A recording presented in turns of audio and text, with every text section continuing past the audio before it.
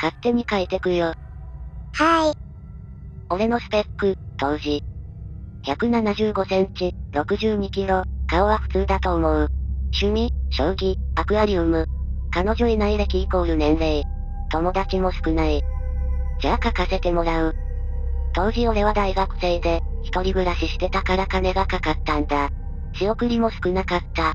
で、バイトをファミレスとかコンビニとかやったけど、家庭教師って結構金いいのに気づいたのよ。でも、家庭教師ってサイトに登録とか色々面倒じゃん。だから俺は、近所に許可もらってビラを貼らせてもらった。確か、中高生に英語と国語教えます。1時間3000円。連絡先〇〇。ってな感じだったと思う。それで、数日経ったある日に電話がかかってきたのよ。中年のおばちゃんぐらいの声質だった。ビラを見たんですが、来ていただけますか？とか言ってたな。話を聞くと、息子に勉強を教える人を探してたらしい。毎日来てほしい、1日4時間お願いするとのことだった。俺はマジかよ、1万2000円だ、やったぜとか思ってた。バカだったと思う。1日4時間毎日頼む時点で、おかしいと思うべきだった。わかった。当日誘拐されて殺されて、身代金要求されたんだな。昨日見たわ。俺もそれ見て、すれ立てしようと思ったんだよ。4年前の話だからな。マジか。家庭教師ってある意味怖いバイトだよな。次の日から早速来てほしいとのことだったので、次の日から行った。夕方、5時ぐらいだったかなから4時間やるので飯を早めに食って家を出た。言われた住所のところに着くと、古くて小さな家がポツンと佇んでいた。時間帯も時間帯だったので、なかなか怖い雰囲気を醸し出していた。まあ仕事だから、と恐る恐るチャイムを鳴らした。すると、電話と同じ中年のおばちゃんの声がして、なぜか安心。ドアを開けたおばちゃんを見て俺は言葉を失った。老けだらけ頭。どす黒く目元に歩く間。似たーっと気色の悪い笑顔。一瞬で帰りたくなったが、まだお金の方が勝った。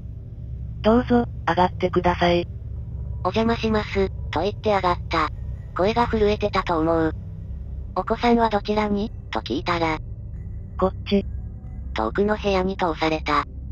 ぶっちゃけめちゃくちゃ怖かった。なんていうか家の雰囲気がすごく怖かった。いやいや奥に進むと、部屋はまさに子供部屋って感じの部屋だった。タンス、テレビ、ベッド、ぬいぐるみ、ロボットのおもちゃ、勉強机。奥の勉強机に子供らしい人影があったので、それに向かって近づく。こんにちはー、なんて言いながら近づき、よく見るとさ、人形、だったんだよね。人形つっても手作りのような感じで、子供ぐらいのサイズはあって洋服を着ていた。やばかったのは顔。無機質な布に丸が3つあるだけだった。マリオに兵法っていう敵キャラいるじゃん。あれを想像していただきたい。うちの息子です。マジに血の気が引いた。この家マジにやばい。本当にやばい。え？人形？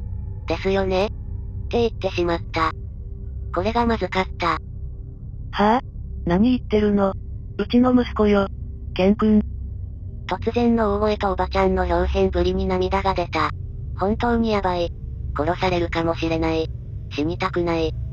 なんとか穏便に済まして帰ろうと思った。わかりました、わかりましたから。って言って、ケン君、お兄さんと勉強をしようか。って言ったら、またおばちゃんが似たってして元に戻った。当然ケン君は返事をしない。当たり前である。人形なのだから。勉強といっても、相手は人形なのでひたすら俺が人形に向かって喋るだけである。ここからの4時間は本当に地獄だった。10分の休憩を入れても苦痛だった。ここは B 同士だから〇〇になるんだよとか、これは連用形だからうだねーとか、4時間ひたすら一人でやる。おばちゃんはその様子を後ろでニタニタと眺めていた。本当に気持ちが悪かった。怖すぎる。なんだかんだでやっと4時間が過ぎた。じゃあ終わりにしよっかとケン君に言った。返事はない。当然である。人形なの役。お疲れ様ありがとうございました本当に気持ち悪い笑顔だと思いながら、帰る支度をする。もう遅いし、ご飯食べていきなさい。いえ、来る前に食べたので大丈夫ですと言った。それにこんな気持ち悪い家で出てくるご飯なんて、たまったもんじゃない。食べていきなさいよ。また怒鳴られた。本当に怖い。気違いだ。でも殺されるかもしれないので。じゃあ、いただきます。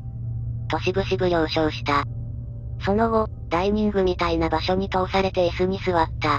包丁を取り出し何か調理を始めた。包丁を取り出した時は本当にドキッとした。冷や汗だらだらだった。汚い鍋も取り出しそれで何かを煮込み出した。するとカレーの匂いがしだした。カレーか。普通の飯でよかった。と心底そう思った。はい。どうぞ。汚い皿にカレーが盛り付けられていた。スプーンはコンビニでもらえるスプーンを再利用したものだった。いただきます、と恐る恐る食べる。普通のカレーだった。まずくもなく、うまくもなく。お口に合うかしら？はい、美味しいです。と怒鳴られるのは怖いので多少オーバーに答えた。そう、よかったわ。今日は泊まっていきなさい。意味がわからなかった。なぜご飯を断れなかったのか。だって怖かったんだもん。いえ、そんな、悪いですし大丈夫です。と答えた。ケン君も喜ぶわぜひ泊まっていって、大丈夫です。とまた答えた。泊まっていきなさいよ。ケン君がかわいそうでしょ。怖かった。でもこんな家に泊まるのはもっと怖い。殺される方がもっともっと怖い。選択の余地なんてなかった。泊まることにした。泊まるふりしてどこか隙を見つけて逃げることを計画した。俺はケン君の部屋でケン君と一緒に寝ることになった。こんな気持ち悪い人形と一緒に寝るなんて嫌すぎた。ケン君の部屋に布団を敷いてもらった。よかったわね先生と一緒に寝れてとか言っていた。本当に怖い。意味わからない。監禁じゃないですか。トイレはダイニングの隣だから、あと2階には行かないでね。とのことだった。まずはおばちゃんが寝静まるのを待ち、ケン君の部屋で待機していた。携帯電話を忘れたことを非常に悔やんだ。携帯があれば助けを呼べたのに。深夜になれば寝るだろうと深夜まで待つことにした。その時は10時半過ぎだった。特にやることもないので布団の中でうずくまった。気がつくと深夜1時。いつの間にか寝てしまっていたようだった。もうおばちゃんも寝ただろうと脱出を決行。カバンを持ち、玄関に忍び足で向かう。一歩、また一歩。心臓の鼓動だけが響いた。何をやっているの？ビクー。もうね、死んだと思ったね。横を見ると、ダイニング扉の隙間から、おばちゃんがニタニタと正座してこちらを見ていた。まさか、ずっとここで監視していたのか。体から血の気がさーっと引いていく。まさか、帰るなんて言わないわよねここで俺はパニックになった。うわー、なんて叫びながら奥へ走り出す。ケン君の部屋には人が出られる大きさの窓なんかない。家の階段を思いっきり駆け上がる。